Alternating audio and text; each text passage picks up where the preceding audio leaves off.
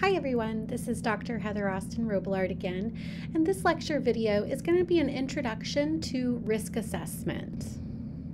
As mentioned in previous lectures, we will go over the tasks, knowledge, and skills that could be found on the ICRC exam for if you want to become a licensed chemical dependency counselor.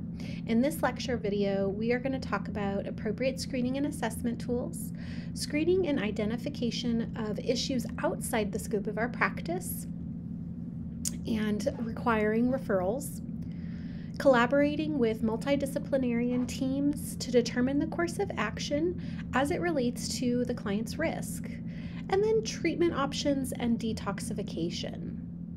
So let's talk about the why. Why should we care about risk assessment as a licensed chemical dependency counselor?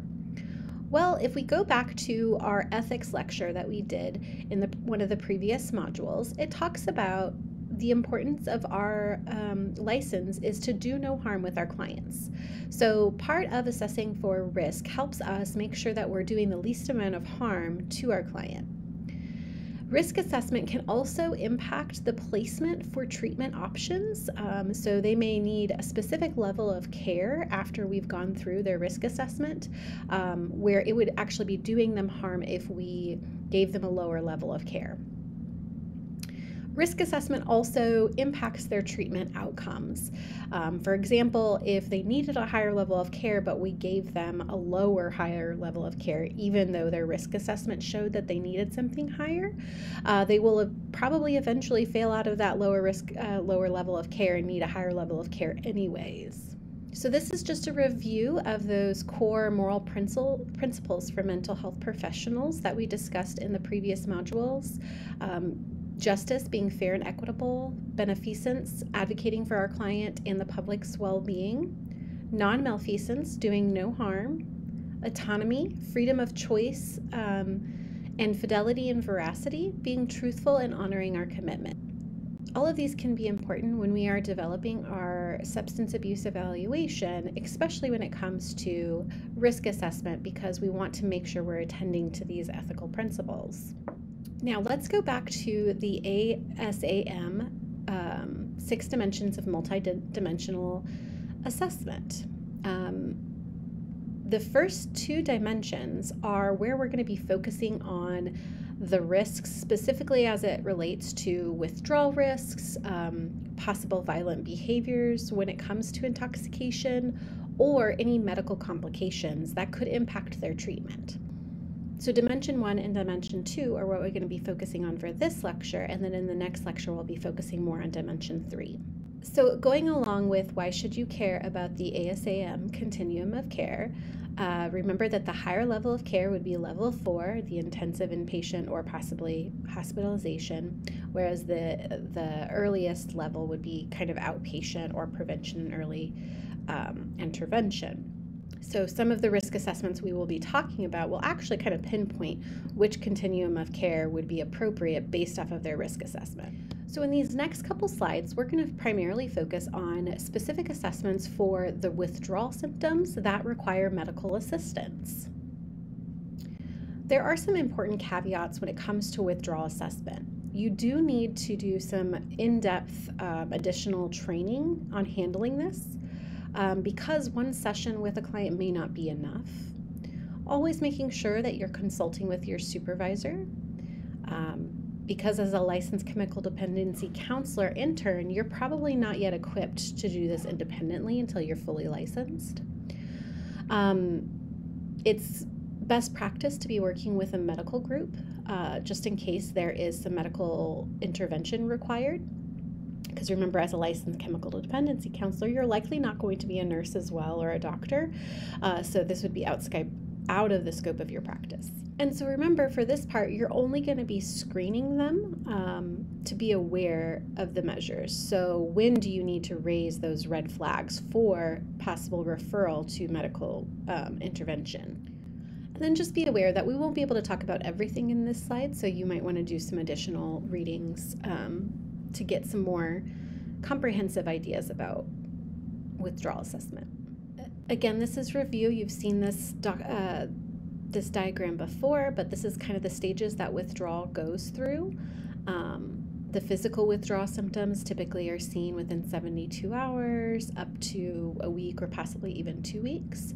Um, and this is kind of the dangerous area. So you'll see the kind of hill that it's going through. You want to make sure that this is where we're referring for lessons on risk psychological withdrawals um, can have a psychological impact on treatment, and we'll be talking about those in the next slides in the next lecture. So remember that depressants uh, typically have some dangerous withdrawal symptoms, which we talked about in one of the previous lecture slides.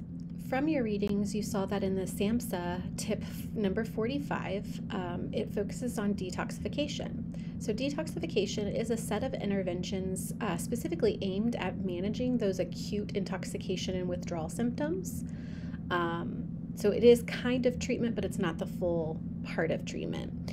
It helps minimize the harm to the client and manages individual um, acute withdrawal symptoms. And then stabilization is the medical and psychosocial process of assisting a patient through acute intoxication and withdrawal.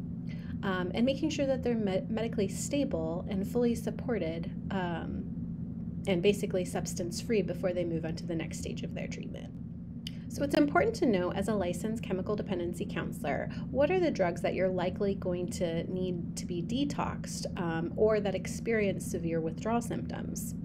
The first one is alcohol actually experiences some really dangerous withdrawal symptoms as well as other opiates and benzodiazepines. Um, cannabis can experience some withdrawal symptoms as well as amphetamines. There are particular issues when it comes to synthetic cannabis and MDMA because those are artificial. And then issues with hallucinations, um, intoxications, and aggressive behaviors.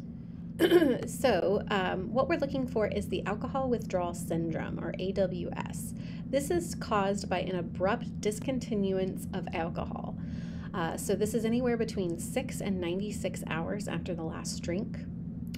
Minor symptoms are usually kind of like uh, headache, shaky, kind of hangover stuff, and then they can lead to alcoholic in hallucinations in the day or two after, withdrawal seizures in days or days two or three after, and uh, the particularly dangerous one, which would require med- medical emergency, would the, be the del- delirium tremors within three to four days.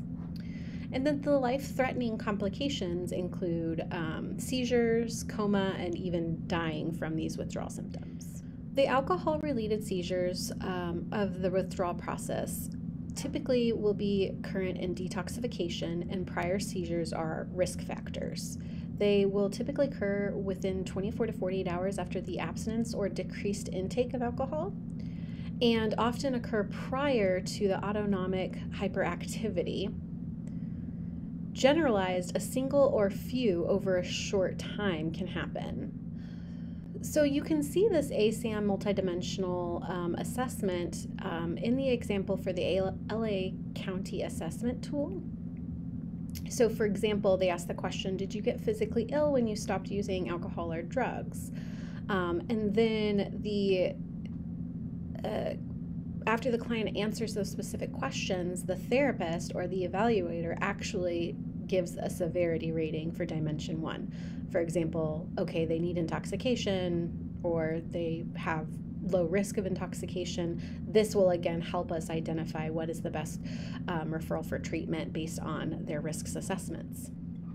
And through the LA County, you would add up all the risk questions and severity ratings that you did, and that kind of gives us what ASAM level they would want.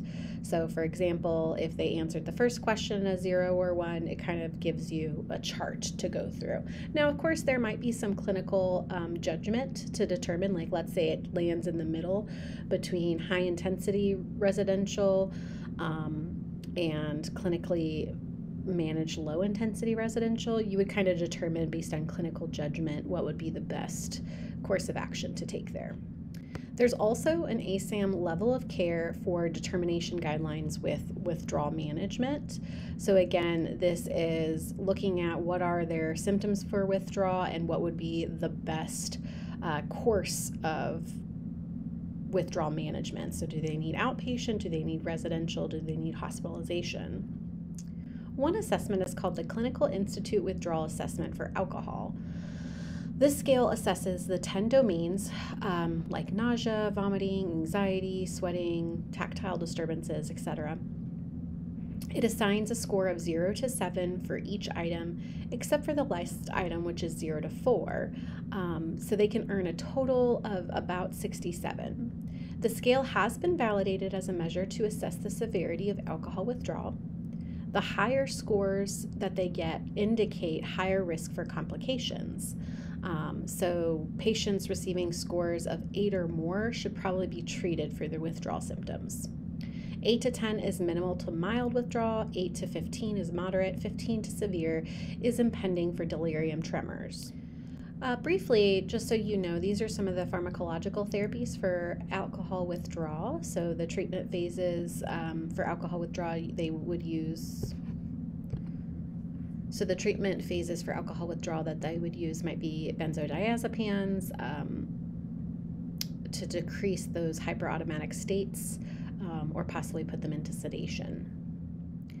Other ones could be beta blockers, um, alpha agonists, anti epileptics um, to kind of help with those withdrawal symptoms.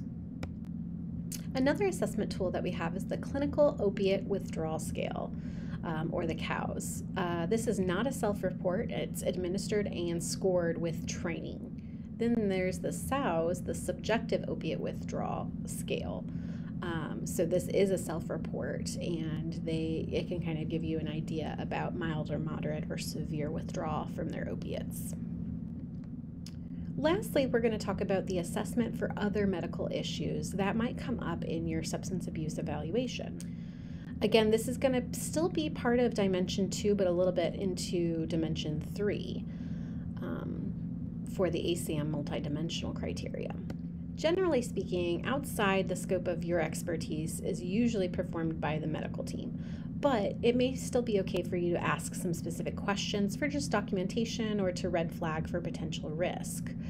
Um, this can be evaluated at the intake form. Um, some sample questions are also from that ASAM the LA County ASAM assessment tool. For example, do they have any specific medical conditions like diabetes, heart problems, thyroid issues? All of those things might be beneficial for you to note. And then with those questions, you as the evaluator would rate the severity rating for Dimension 2. Um, again, it's generally outside of the scope of your practice, and usually performed by the medical team, but you would likely be coordinating with. This is the end of this lecture slide. Please head over to the second lecture site for this module to learn more about some of the emotional um, and psychological risk assessments that we, you would be doing as a licensed chemical dependency counselor.